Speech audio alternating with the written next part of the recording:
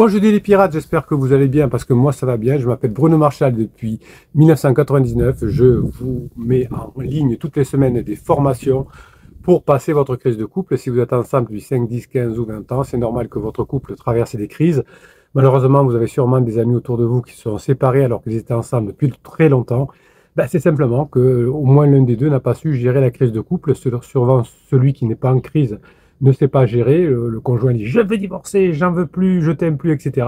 L'autre fait des erreurs, fait des, interdits et le couple se sépare. Alors on peut aussi faire des interdits type manipulation, type euh, moi je te suis, lettre magique, euh, type silence radio. Oubliez tout ça parce que ça c'est la catastrophe, ça vous fait plonger. Alors peut-être si vous êtes ado et que vous voulez faire un coup de manipulation pour récupérer votre petit copain, votre petite copine, pourquoi pas. Mais si vous êtes ensemble depuis 5, 10, 15, 20 ans, que vous avez des enfants ou pas d'ailleurs, eh bien, il va falloir que vous utilisiez notre méthode. cette méthode, elle, existe avec un catalogue de 200 formations au choix que vous retrouvez en descriptif de cette vidéo sur la fiche plus. Et autour de ces formations, autour de, de, de, ces, formations puissantes, vous avez tout un écosystème avec des vidéos longues le matin comme ceci.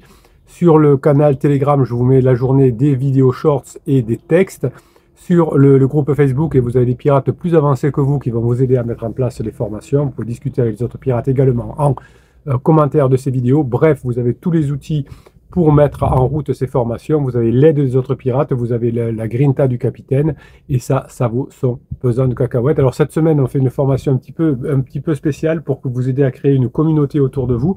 Peut-être que vous avez une passion, peut-être que vous avez sûrement une passion.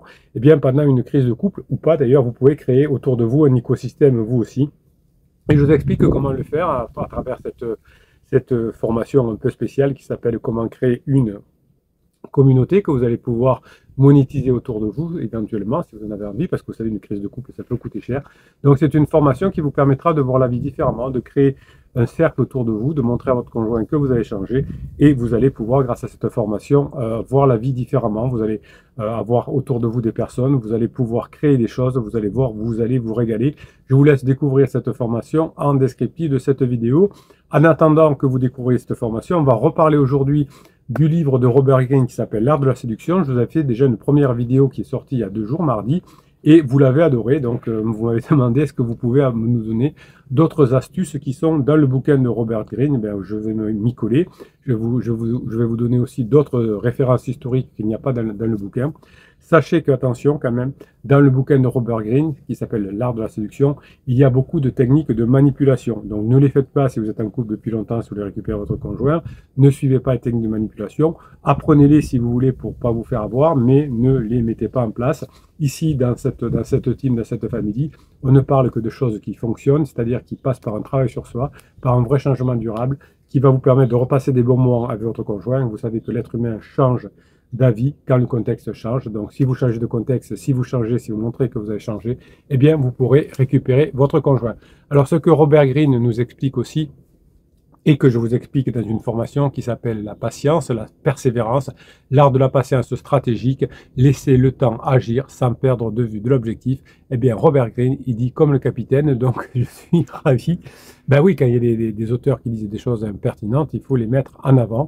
Dans une époque, effectivement, vous l'avez remarqué, où tout va vite, l'art de la patience peut sembler certes anachronique, mais ce sont l'une des clés de la séduction et de la reconquête, entre guillemets, c'est-à-dire que c'est pas vraiment une reconquête, mais c'est un point de passage de votre couple qui va passer la phase 2, la phase de, euh, de sécurisation la phase 4, la phase de grande intimité qui passe par cette phase d'exploration de, qui est un petit peu casse-pied où votre conjoint est, infernal. C'est pour ça que vous allez mettre en place la patience stratégique qui ne, qui ne consiste pas évidemment à attendre bêtement et passivement que les choses changent comme dans le silence radio, mais à orchestrer un timing subtil où chaque mouvement est calculé pour avoir l'impact maximum dans votre relation aujourd'hui qui est peut-être encore en crise, il est tentant de vouloir tout régler immédiatement, mais cela aboutit souvent à des tensions supplémentaires. Vous avez voulu forcer les choses peut-être quand vous étiez un bébé pirate. Eh bien aujourd'hui, vous avez compris que la patience permet de laisser les émotions se décanter, de laisser l'autre revenir de lui-même, non, mais vous allez lui montrer que vous avez changé et vous allez garder le cap sur l'objectif de réconciliation. Chaque fois que vous allez voir votre conjoint, vous allez passer un moment agréable ensemble pour vous rapprocher. Un exemple historique de patience stratégique est celui de Nelson Mandela qui, durant ses 27 ans d'emprisonnement, a su attendre le moment propice pour négocier avec le gouvernement sud-africain. Ça a été trop tôt pendant un certain temps, la société a évolué et puis le moment est arrivé. Il ne s'est pas précipité, comprenant lui aussi comme vous, chers pirates, que certaines batailles doivent être gagnées par l'usure et non pas par l'affrontement direct. C'est les erreurs que, que vous conseillent euh, certains, certains coachs ou même des amis parfois, ou même le psy de quartier qui vous dit ne vous laissez pas faire, mettez-la dehors, ça va la faire réagir, mettez-le dehors, ça va le faire réagir, mettez-lui un ultimatum, euh, vous n'êtes pas, euh, vous êtes trop acquis, etc. Donc n'écoutez pas tous ces, ces, mauvais conseils qui vous, vous amènent à, la, à la séparation définitive. En revanche, la patience que vous apprenez ici dans les formations va se traduire par une retenue certes volontaire, par le fait de ne pas chercher à tout résoudre dans l'instant, mais de laisser certaines choses se faire plus tard quand vous serez prêt, quand les esprits seront plus calmes et quand vous pourrez montrer à votre conjoint que ce que vous avez mis en place fonctionne, votre changement est durable. L'histoire de l'artiste Leonard Cohen, qui a attendu des années avant de publier certaines de ses chefs-d'œuvre qui étaient trop en avance sur leur temps, montre que la patience est souvent récompensée par une qualité d'œuvre supérieure.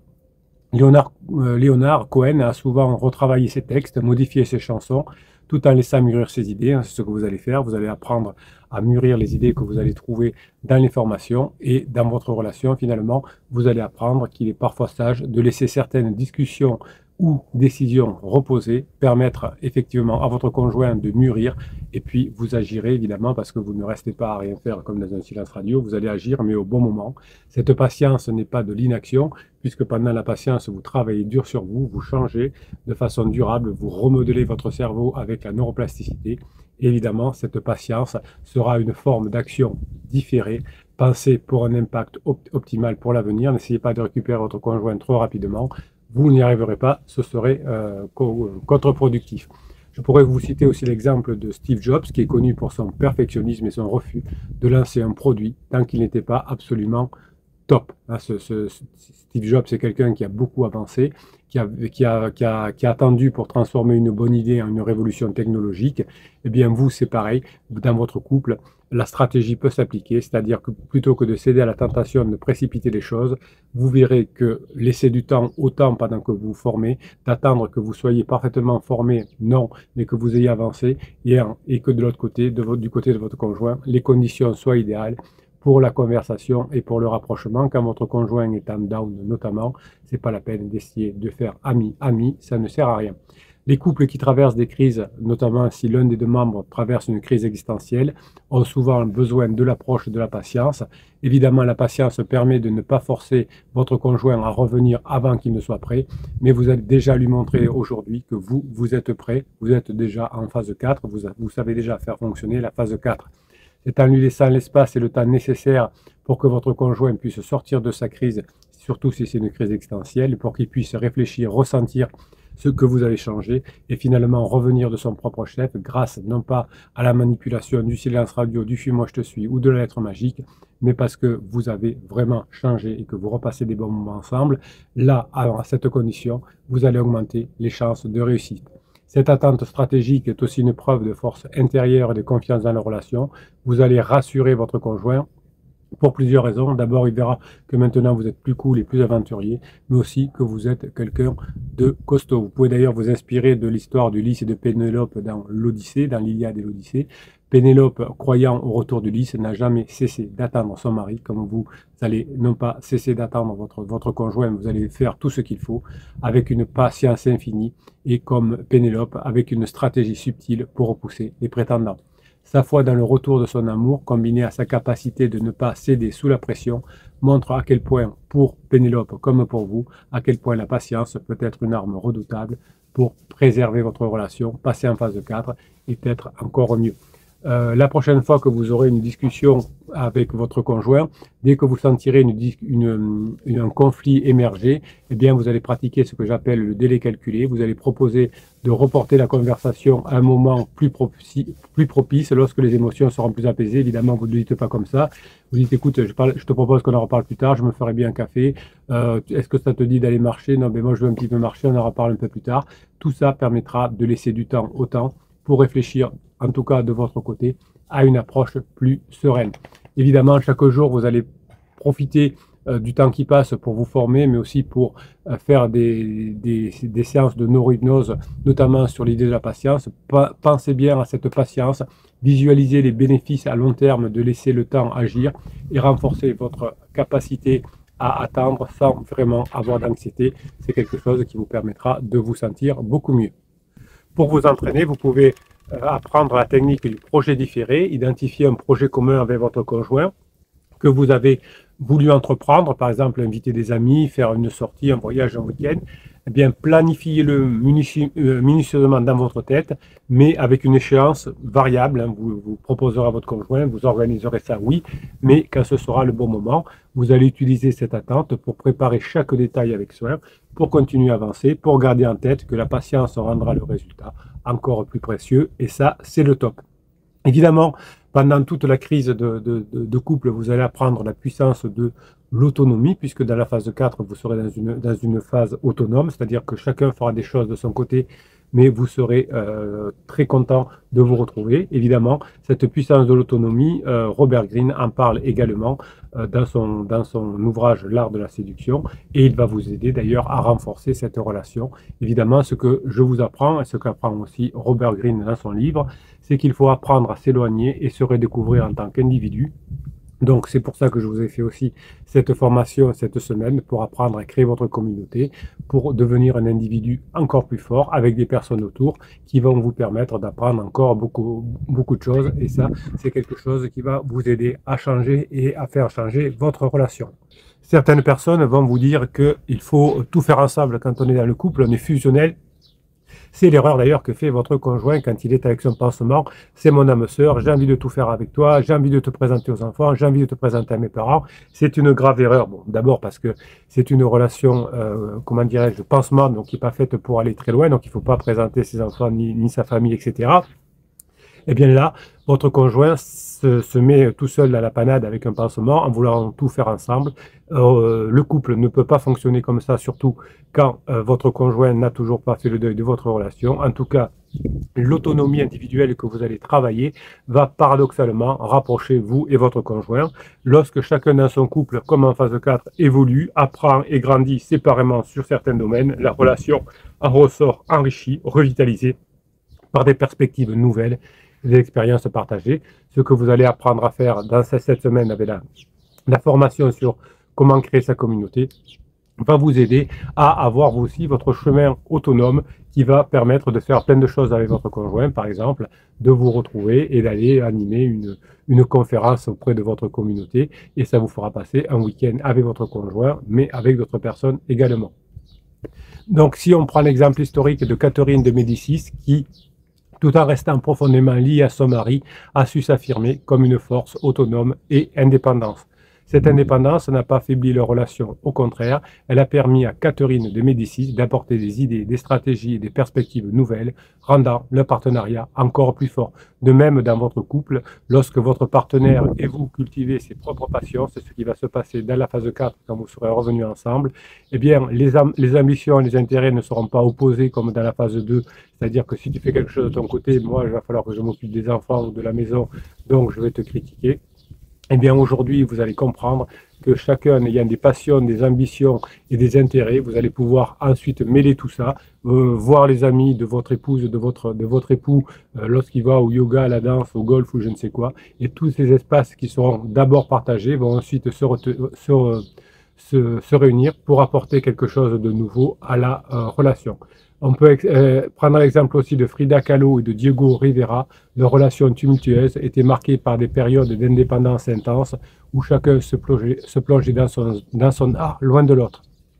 Ces moments d'autonomie créative leur ont permis de revenir ensemble chaque fois avec des idées fraîches, des expériences enrichissantes et une admiration renouvelée l'un pour l'autre, car chacun auront fait, avait fait pardon, des œuvres totalement différentes et l'un pouvait apprendre de l'autre. Cette autonomie que vous allez mettre en place aussi avec votre conjoint n'est surtout pas une menace.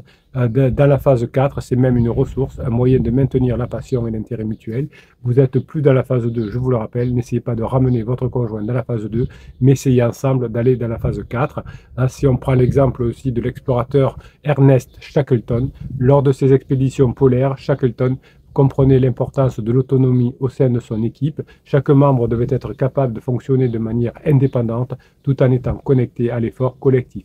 De la même manière, dans un couple, l'autonomie personnelle renforce le tissu de la relation car elle permet à chacun de rester entier, fort et capable de contribuer pleinement au partenariat.